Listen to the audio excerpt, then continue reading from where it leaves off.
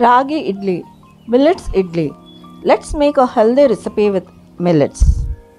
Welcome to my channel Madhura. Cook healthy, eat healthy, and stay healthy. Let's celebrate the International Year of Millets 2023. Let's make a healthy recipe with finger millets.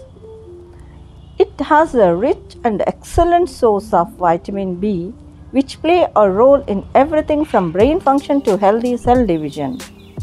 It is connected to reduction in fatigue. It has minerals and fiber, which gives very important health benefits. Potassium found in finger millets can help keep kidneys and heart functioning properly. Potassium helps nerves transmit signals which allows brain and muscles to work together smoothly. Take 2 cups ragi, 1 cup urad dal, 1 cup flattened rice that is poha, 1 tablespoon fenugreek seeds. In a bowl take urad dal along with fenugreek seeds, wash for 2 to 3 times, add enough water and soak for 6 to 8 hours.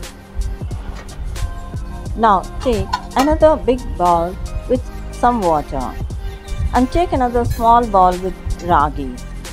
Now take some water in the ragi and roll the ragis into the big bowl so that all the dust and sand particles get settled down at the last. Remove that sand particles. Repeat with all the grains you have. Wash the ragi grains for 2 to 3 times until you get a clear water. Add enough water and soak for 6 to 8 hours. After 8 hours, take flattened rice, wash for 2 to 3 times until you get clear water and soak it for 15 minutes adding enough water.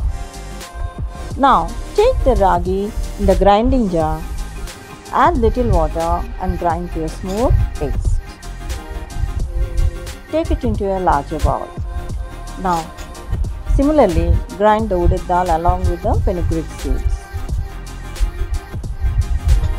Add flattened rice, which is soaked 15 minutes before. Grind to a smooth paste and add all the batter and mix together Cover it and leave it overnight for fermentation. Uh, ferment for about 8 to 10 hours.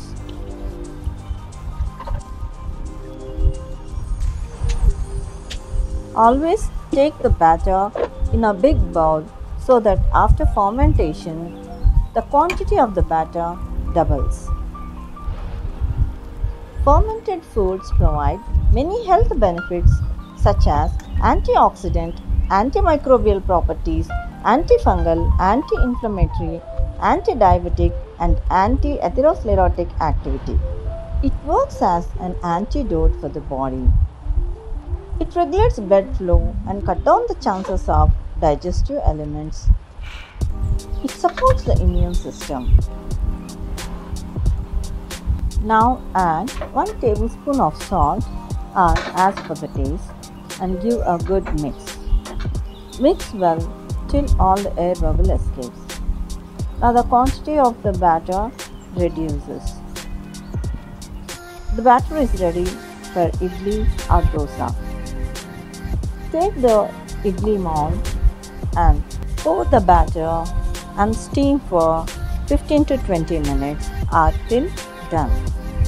For steaming the idlis, increase the flame to high for 5 minutes and then reduce to the low flame for about 15 to 20 minutes.